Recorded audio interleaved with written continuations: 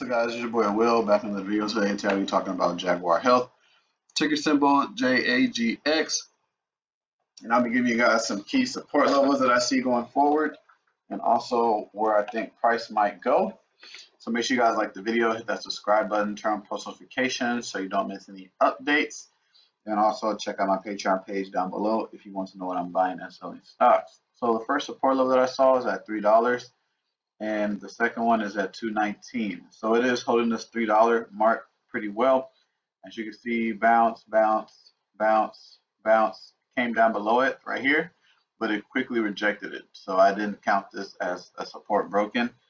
So we still can see price go higher from these levels but for me I want it to go a little lower in between these areas. This is where I'm looking to get in on the stock not up here um, down here just seems more better for me, but that is just my point of view.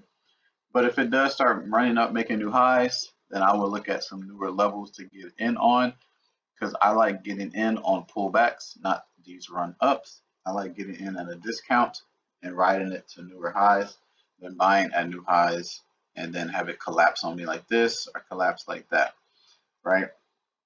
I did play the stock earlier um, I forgot what prices I was in at.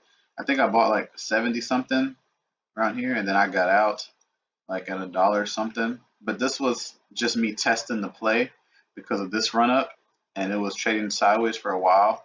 So I was just testing the play to see how the stock moved and it did move good. So now I'm looking for the next move.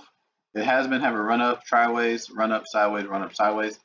So that pattern can repeat but it might not repeat also. So this is a penny stock. You want to be careful with stocks like these because they can jump quick and they can pop quick. So this is just an area I'm looking to buy in, have these levels on your chart.